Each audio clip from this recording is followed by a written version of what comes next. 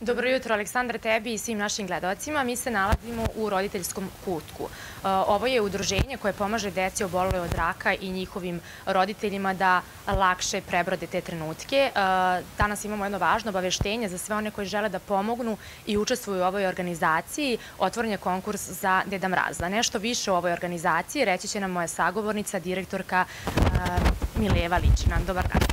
Dobar dan.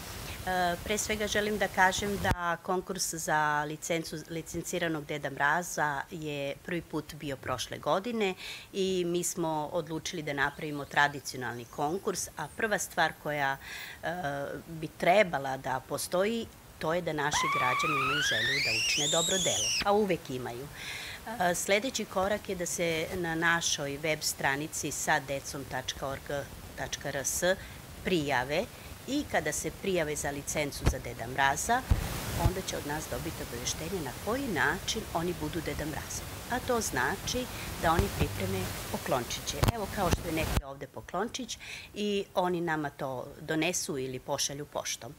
E, mogu da vam kažem da e, imamo jako lep odziv građana i izuzetno smo srećni što oni prepoznaju e, priču i žele da učine dobro delo i čine dobro delo. Do kada traje prijava? Prijava traje do 20. decembra i u stvari do tada je krajnji rok da se pokloni donesu, jer mi već 27. decembra deci nosimo poklone. Potrebno je vreme da mi to sve lepo pripremimo. Svaki poklon je personalizovan, to znači da ako ima devojčica recimo pet godina, ona će imati poklon za uzrast devojčice od pet godina sa svojim imenom i prezimenom, isto tako i dečak.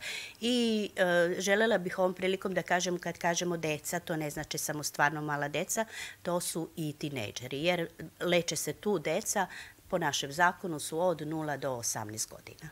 Hvala što ste govorili za našu televiziju. Čuli ste na koji način se možete prijaviti i donirati poklone našim mališanima, našim malim herojima. Mi pozivamo sve ljude dobre volje da budu humani i pomognu deci kojima ovo je zaista najpotrebnije. Hvala vam na pažnji.